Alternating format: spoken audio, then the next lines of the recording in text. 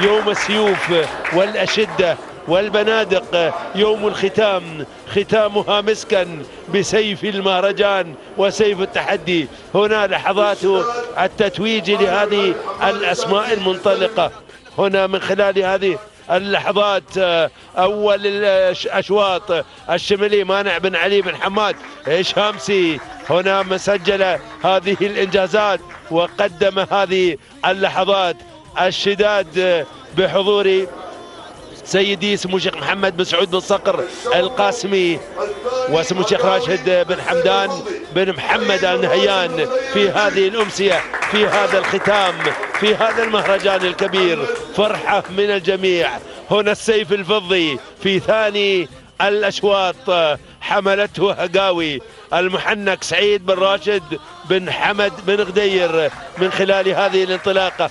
هنا السيد محمد بن راشد بن غدير يتسلم أيضا هذه الانطلاقة برفقة ابنه ونجله مكتوم بن محمد بن راشد بن غدير في هذا المساء المميز في هذه اللحظات في هذه الفرحة التي عمت.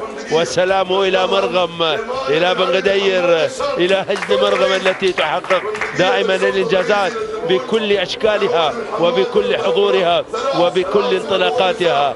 الجهضم يفوز بالبندقية يحقق ثاني إنجازاته في هذا الموسم.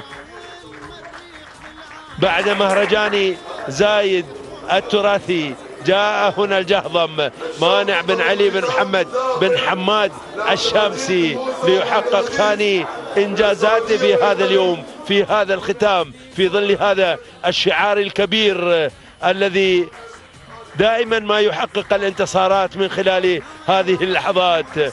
زاخر كانت الختام كانت سيف الختام. لعبد العزيز بن موسى بن عبد العزيز الموسى من المملكة الهلالي الهلالي الأزرق الذي تفوق. مبارك بن أحمد بن مايد. الخيلي. من قادها أيضا وسار وراء زاخر يحمل هذه القوة والإثارة. تحيات لانطلاقاتها.